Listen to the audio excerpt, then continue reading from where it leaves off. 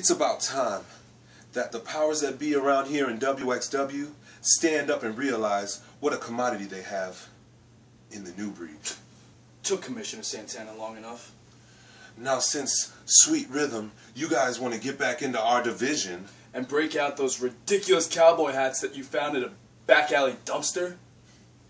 on March 26th, WXW invades Minneola, Florida. And presents to you, Nimrods, Backfire 2. There's been one before, if you didn't get that. There's only going to be two things that you remember.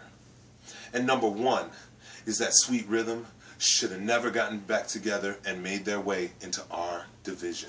Shoulda, shoulda stayed in the kiddie pool.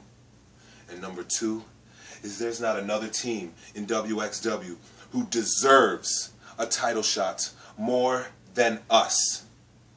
New breed. No one wants to see those same old tired matches again and again. We're going to keep saying this until we're blue in the face. Green in the face.